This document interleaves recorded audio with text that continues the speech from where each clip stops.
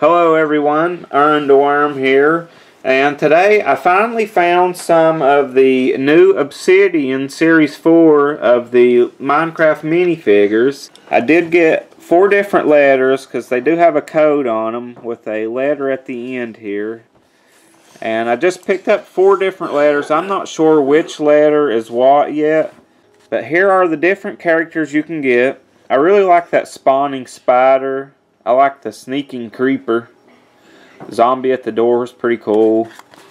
A lot of cool ones in this series. I feel like every series they do gets a little better. So I'm going to start with G.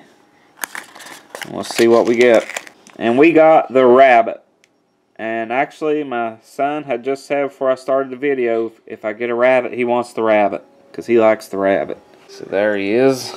Okay, and our next one is the letter B. So let's see what's in B. And we got the Tabby Cat, which looks a lot different on the box than it actually does. On the box it has stripes and it's darker and everything, but I guess they don't always come out how they look on the box. Okay, and our third one is letter C. So let's see what's in letter C. And we got a screaming Enderman. You can see my see my letters through it. And worms, gaming and toys. Subscribe. Okay, and our last letter is F.